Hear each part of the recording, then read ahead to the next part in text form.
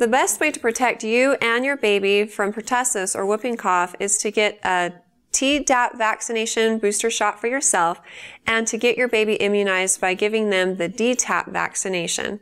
Babies get this at two, four, six months of age, and then again between 15 and 18 months of age and four to six years. Teenagers should get one sometime between 11 and 18 years of age, and this is a booster shot.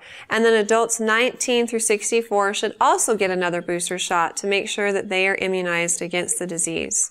Currently, the recommendation is that pregnant women should also get the Tdap vaccination booster shot if they haven't gotten one prior to pregnancy, and they can get this um, anytime after 27 weeks. This offers her immunity against whooping cough as well as her baby until they're able to get their booster shots.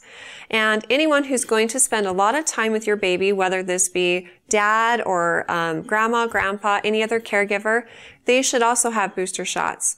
The thing with whooping cough is that adults may have a chronic cough that doesn't make them super sick, and so they may not think twice about it. But if they give it to a baby who hasn't been protected against it yet, then they could get the disease. In most areas, these vaccinations are available at your pediatrician's office for the children, at a general practitioner's office for adults, and also local health departments.